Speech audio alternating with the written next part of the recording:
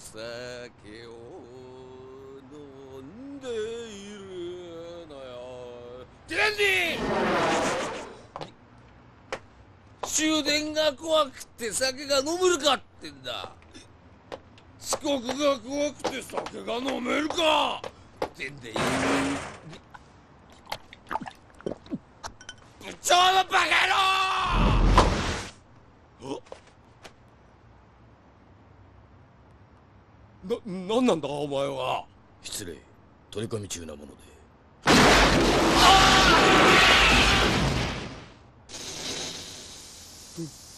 飲みすぎたかな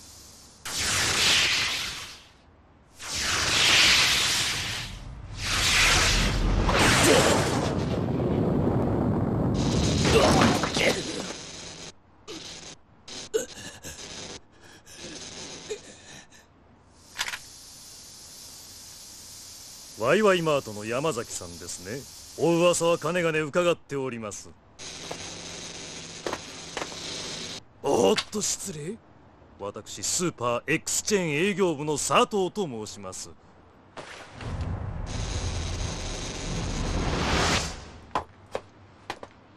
我が社にとってあなたの存在は脅威です。ですから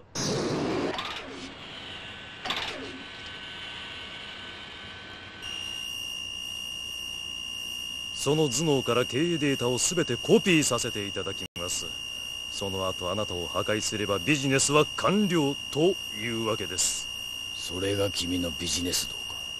効率第一が私のモットーでしてね。お互いに過労死はもうごめんでしょう。なめるなこそ。ビジネスの世界がそれほど浅はかなものであるなら私は蘇りなどしなかった。貴様のような月給人間はこの世へ飛ばしてやる。モード変換。戦闘モードクソ死ねえ山崎へ。0.26秒遅い変身スマッシュ山崎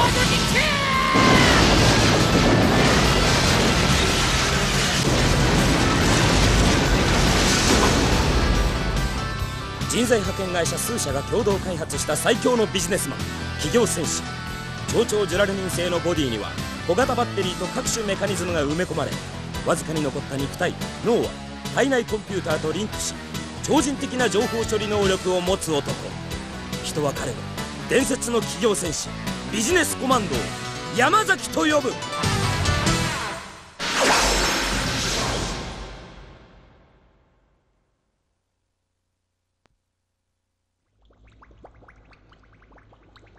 疲れてるんですよあなた。仕事に打ち込むのもご立派ですけどね。何事もほどほどってのが今流なんです。仕事も遊びも。そう恋愛もね。ほら短命は人生の敗北って言うでしょう。え？すぐに職場に復帰する？死ぬつもりですか？あなたの心臓はもう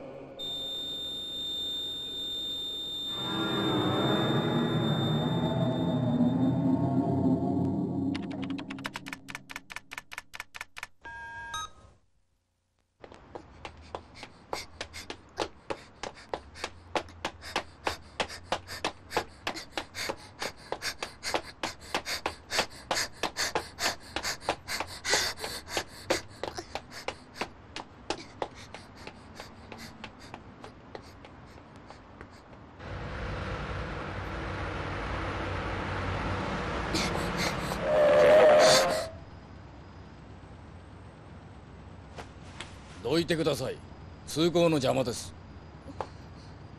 待て捕まえたぞこいつ。いややだ話してよ。一体どうするつもり？た助けてください。このおじさん私を犯そうとするの。な、な、な、自分から誘っておいて何よいやー。どのような事情かは存じませんが私には関わりのないことです バキャラそれでも人間かどうかしましたか？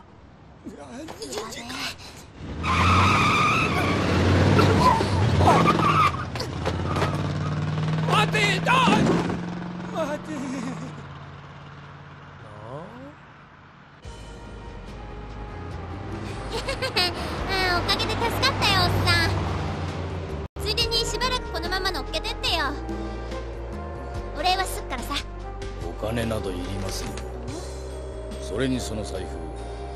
先ほどの男性のものですね。そんじゃあ体で払おっか。なるほど。そうやって通りすがりの男性をホテルに誘い隙を見て財布を奪い逃げるというわけですか。だったらどうだって言うのさおっさん。あんただっておまわり見た途端逃げ出すなんてさ。なんか訳ありだろ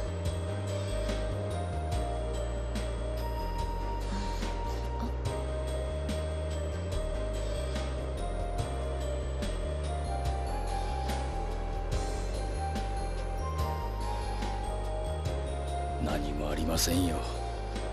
若い女性にお話しするようなことなど。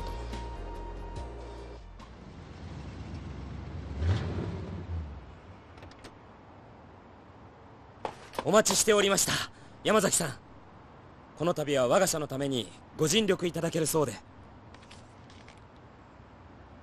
これはどうもご丁寧に。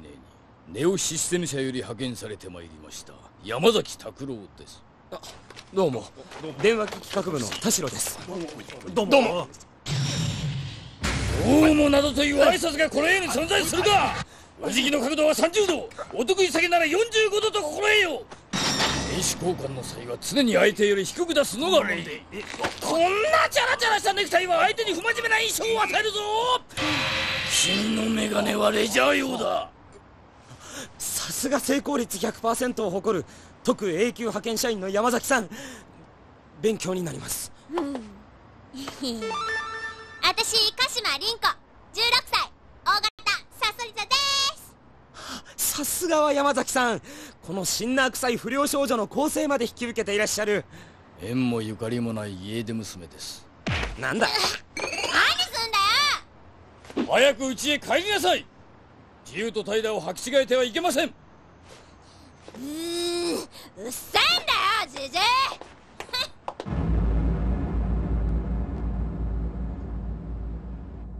こんな深夜に皆さんに集まっていただき申し訳ありません。何せ新製品開発期間がわずか2ヶ月というのが社長命令でしてこのプロジェクトチームは当社の新型電話機を開発し生産ラインに乗せるために組まれました。他社に大きく遅れを取った電話機部門に起死回生のコンセプトを見出せるか否か技術部デザイン部販売女性部宣伝部。各部署の皆さんのご意見から伺いたい。そして強力な助っ人としてビジネスの達人として名高い山崎さんに加わっていただきこの電話機企画部の私田代が責任者とさせていただきます。はあ田代よ。新機能ったってテレビ電話の需要は当分見込めないと結論が出たばかりだぜ。携帯電話や PHS は今や単なる価格競争になってしまったりまあ売れば売るほど赤字になるという悪循環。我が社も右へ習えでファックスなど機能満載の付加価値型電話機を作るしかありますまい。しかしそれでは開発に時間と金が。結局電話なんて通じりゃいいんですから。無理して新しいコンセプトなんか。五つ葉電機がサルマネメーカーと陰口を叩かれる根本にはこの発想の貧困とチャレンジ精神の欠如があるビジネスの極意は先手必勝先行逃げ切り今さら滝の路線に加わったところで勝ち目などないならばその先にある価値観を消費者に問うべきなのではありますまいか理念はご立派ですがね山崎さん。電話における新しい価値観とは？留守番電話コードレス内線通話モーニングコールスピーカーフォンによるハンズフリーさらにファックス機能 PHS になる古希パソコン通信に対応した PHS まで発売されました。電話は今やパソコンに接続しインターネットにまで広がるモバイルコンピューティングの時代。ここまで拡大した電話機のその先にあるものがあなたにはお見えですか？当然です。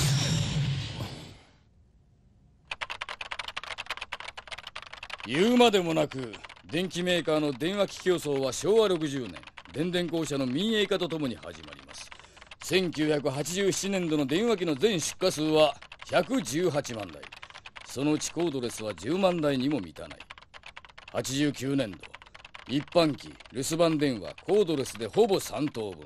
その後コードレス留守電が増加し3分の2を占めるようになりさらにその半分がハンズフリー方式。そして携帯電話の普及と PHS の登場。激化する低価格競争によって爆発的に普及していきます。もう一つ最新データを紹介しましょう。これは電話機に対するイメージ調査です。肯定イメージが大多数なのは普及し尽くした現代において当然のこと。注目すべきは不便という7%わかりません。不便とは？つまり何をしていようとベルの音によって呼びつけられるということです。これを一種の暴力として感じる人も少なくはない。なるほど。有効なコミュニケーションの手段であっても一方的な要素はある。しかしそれは電話自体の特性であって。イメージは変えられます。コードが消え電話を持つても消えようとしている今。次に消えるべきは電話機そのものです。なあ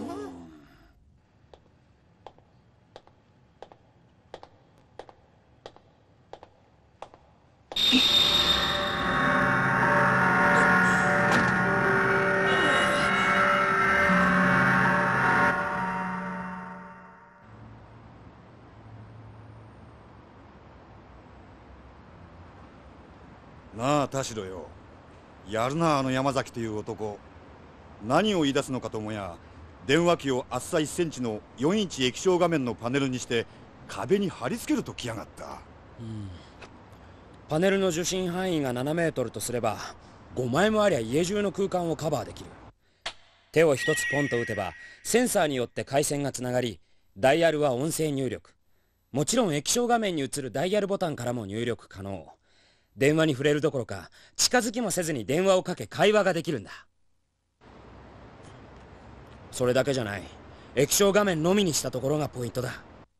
形状として画面を残したことでインターフォンとしての機能そして将来テレビ電話が普及した際にも対応が可能だ。画面を取り除けばカードくらいの大きさにすることも可能だろう。ハンズフリーなんてもんじゃない。電話機そのものが消えるんだ。これは純然たる遠隔会話。テレトーキングだ。しかしどうかな。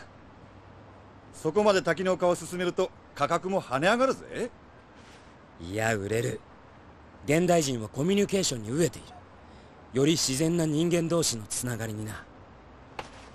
我が五つ葉は新しいライフスタイルを提案するんだ。たとえ万一採算が合わなかったとしても企業のイメージアップは計り知れない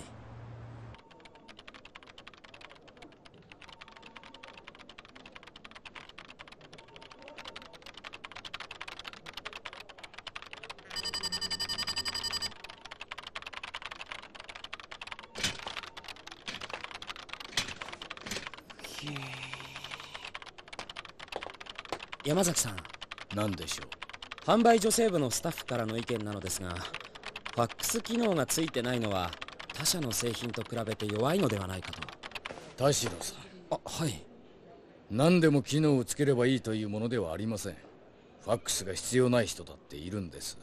それに機能は極力絞り込んだ方が商品のコンセプトは明確になり消費者に与えるインパクトも強くなるんです。しかし余分な機能はオプションとして後から加えられるようにすればいいのです。その方が消費者が自分のライフスタイルに合わせて組み替えることができます。そうですね。早速各スタッフに伝えてきます。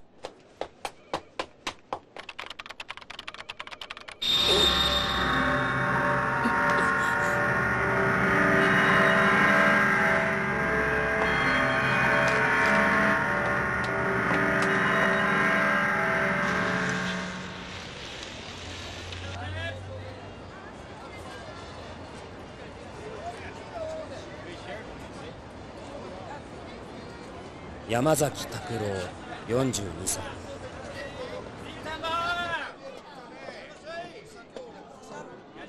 やはり噂通りの特永久派遣社員。彼の手掛けたビジネスはことごとく成功を収め各社の株価は跳ね上がる。戦後日本の復興のために大量生産された一般ピープル。彼はその段階の世代の中から生まれたモンスターかもしれんぞ。大した入れ込みようだな田代。そりゃそうさ。あの人の姿は我々凡庸なサラリーマンにロマンを見せてくれる。組織の中での出世などとは一切無縁。常に成功を収めまた去っていく。本来人間の仕事とはそうであったはずだぜ。俺もビジネスマンになった以上一歩でもあの人に近づきたい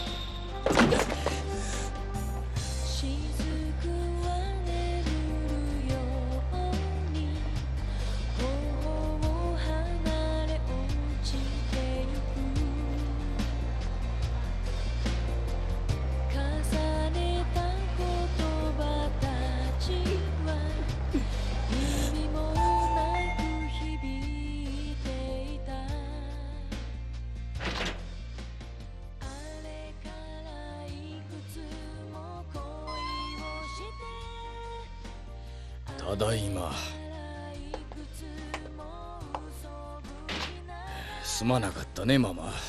せっかくの結婚記念日だというのに遅くなってしまったよ。みのりにはケーキのお土産だ。ちょちょっと待ってください。あなたどなたですか？なんだね君は。勝手に人の家に上がり込んで。パパ。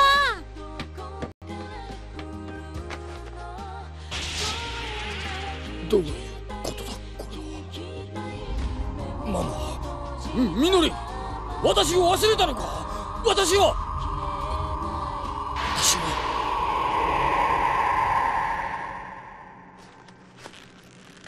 どう山崎？頭痛の方は？だいぶ楽になりました。液体酸素の注入で一時的に抑えたけど側頭葉の炎症が進んでいるわね。ありがとうございますこれで職場へ戻れます。エンジニアとして忠告するわ。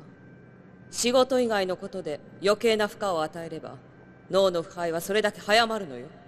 何のことです？キリカさん。おぼけないで。野良猫みたいな小娘と関わって危うく警察沙汰になるところだったそうじゃないの。いいこと。あなたは今や単なるビジネスマシーンでしかないの。与えられた仕事だけをしていればいいの派遣するたび修理させられたんじゃ。会社側もたまらないわよ。その体には莫大な費用がかかってるんだから。私はマシーンではありません。人間です。あらそう。いかが。何のつもりです？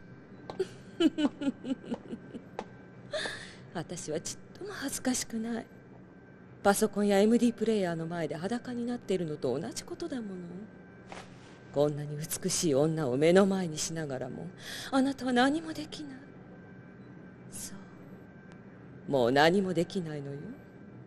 分かった？マシンはマシンらしく感情を捨てることね。それがこのネオシステム社のためでもありあなた自身のためでも。な何？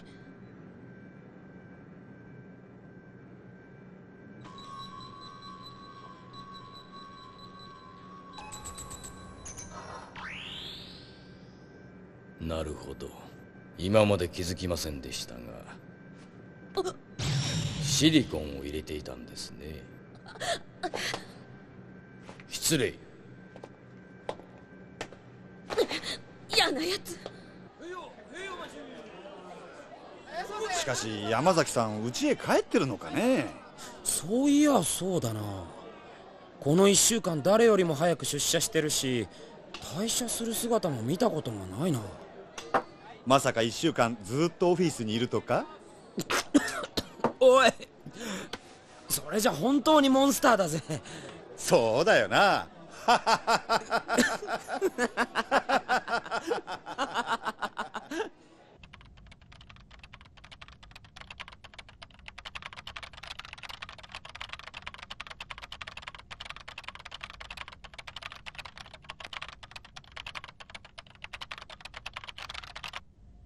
困った人ですね。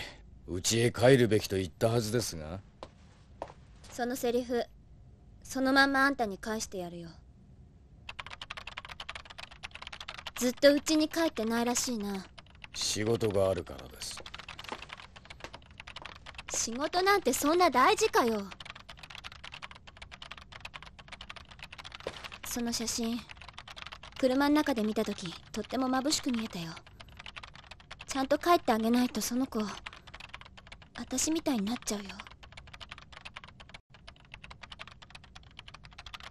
うちの親父も仕事人間でさちっともうちに帰ってきやがらなかったんだ。おかげでおふくろも男を作っちまって5年前に離婚したよ。あんな憎しみ合ってる2人の間にできた私は何だろう。ってもう誰も信じられなくなってすっかりくれちまってさ。あいにくあなたの身の上話に付き合ってる暇はありません。明星みんなが出社する前に最も有効な販売戦略プランを完成させたい。人の気持ちが分かんねえのかってめえは。消費者の気持ちがわかるくらいならビジネスマンも苦労ないですけどね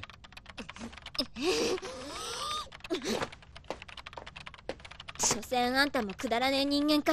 くだらねえやつばっかのくだらねえ世の中だよ。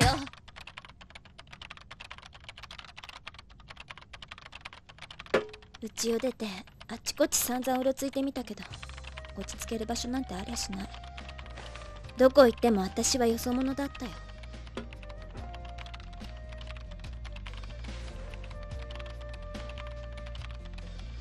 こんなにたくさんの街があってこんなにたくさんの人がいるのに私の居場所はどこにもないんだ。凛子さんでしたね。あらかじめ用意された居場所なんて誰にだってありません。余ったれてはいけません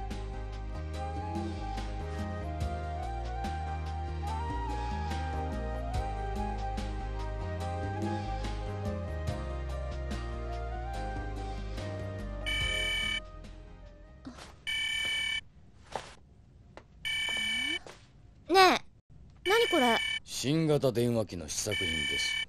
これ電話なの？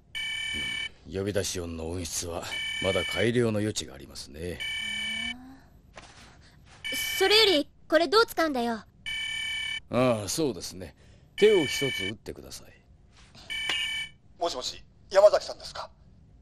私技術部の西川です。ああすげえや。電話企画部の田代が病院に担ぎ込まれたと連絡がありました帰宅途中で暴漢に襲われたらしいんです。彼の話によれば見知らぬ男に新型電話機の開発状況を問い詰められたということで秘密を守ろうとしたために彼は上事のようにあなたの名を呼んでいます。すぐに会いに来てやってもらえませんか？私が言ったところで彼の怪我が治るわけではないでしょう。何その冷たいセリフ。私聞いたんだよ。あの人あんたを尊敬してたんだよあんたみたいになりたいってさ言って励ましてやんなきゃ。そんな暇はありません。彼一人がチームから欠けたとしても支障はない。私なら一人でプロジェクトを推進できますし。親父もそうだったよ。私が事故った時も補導された時も仕事が忙しいって会いに来てくれなかった。い一番会いたい時に来てくれなかったんだ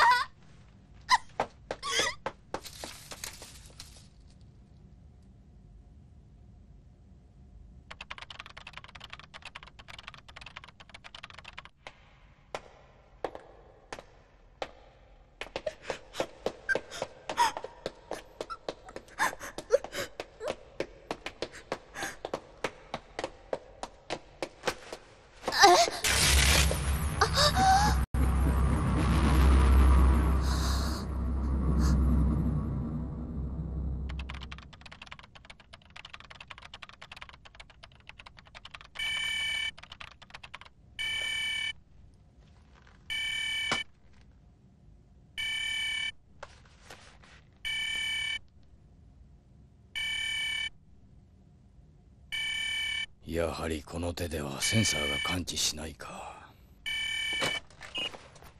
もしもし山崎拓郎様でいらっしゃいますか？そうですがお宅様は失礼いたしました。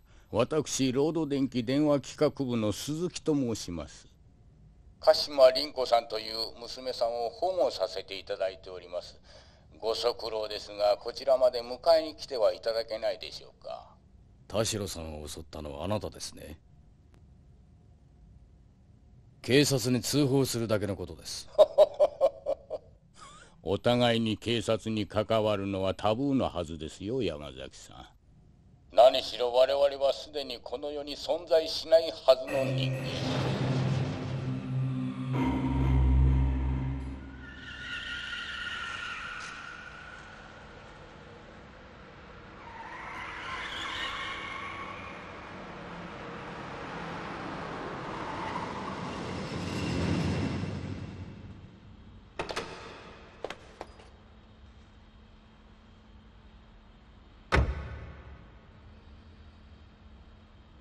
突然お呼び立てして申し訳ありません。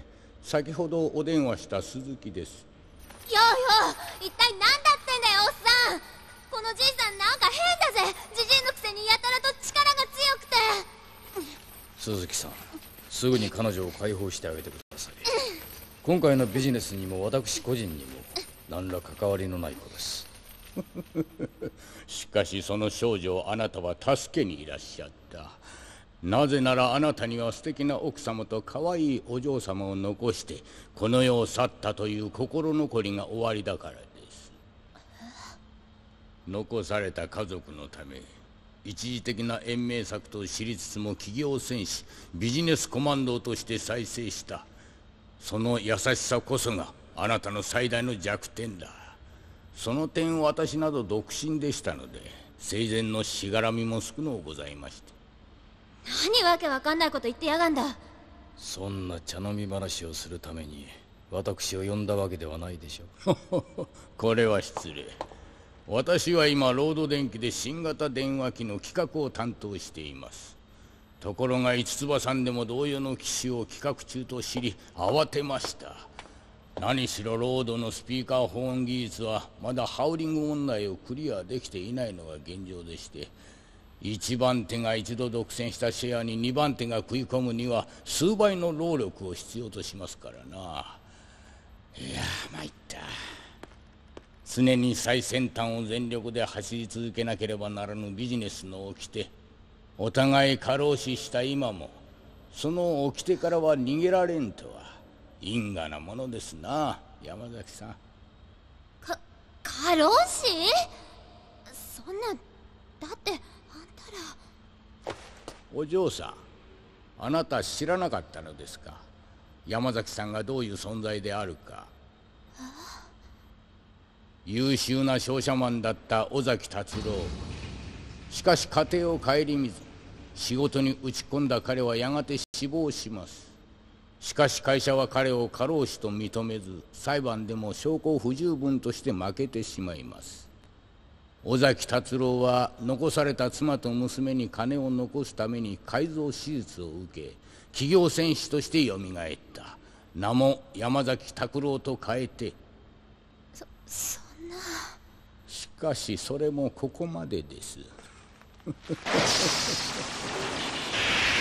ことここに至っては五つ葉の進行にストップをかけるしかありますまい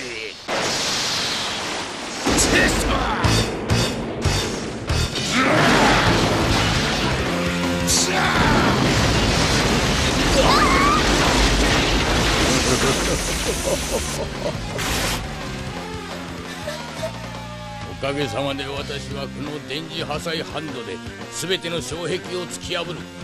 最強の企業戦士として再生いたしました。ビジネスに暴力を持ち込むとは言語道断。我々には誇りを次世代に語り継ぐ責務があるはず。そういうルールやモラルに縛られる新郎が私を過労死に追い込んだのです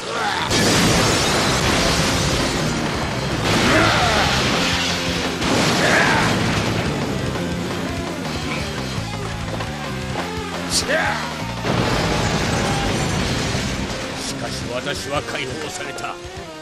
この力によってお互い残り少ない命。せめて最後ぐらいは思いのままに生きて罰は当たりますまい。哀れ。分別を持たぬ老人。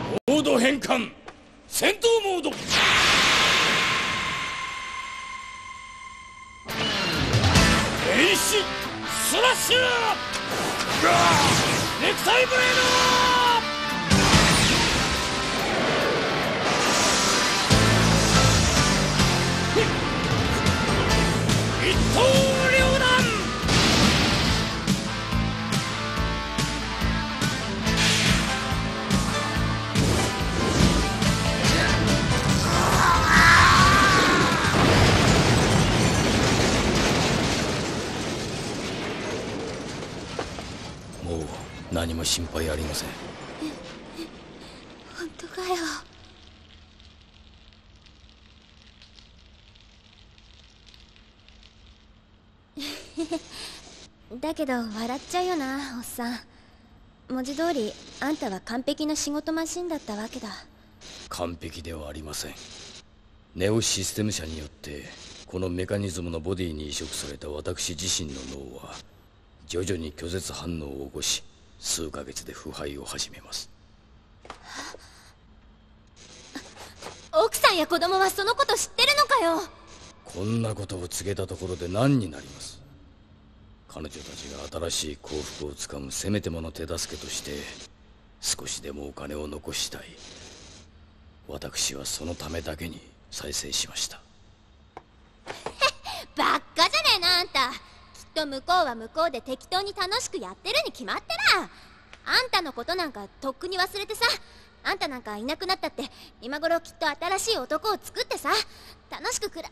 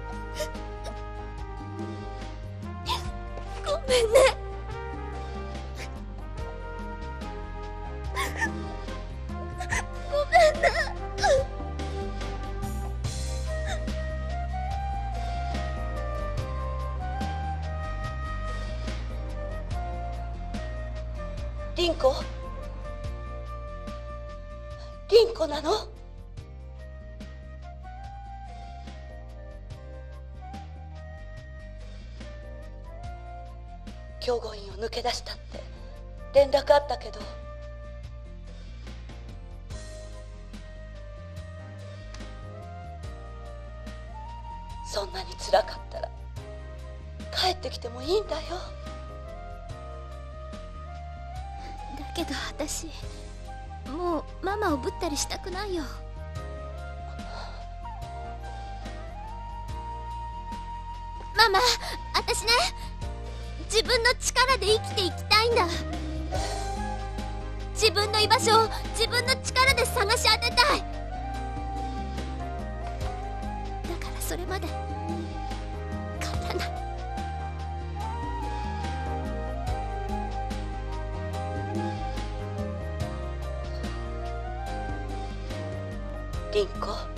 どこにいようと私はお前のことを思ってるよ。元気でねママ。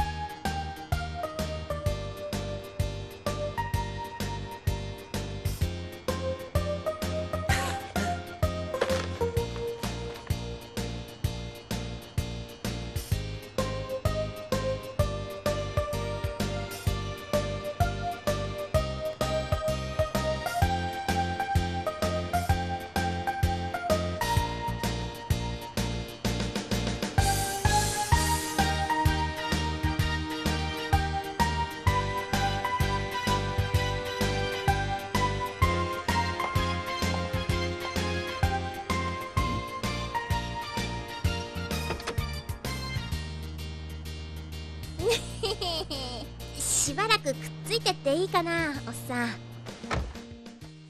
困ります。これからすぐ次の派遣先に行かねば。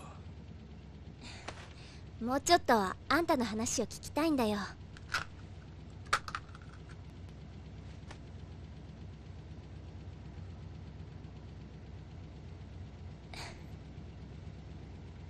何もありませんよ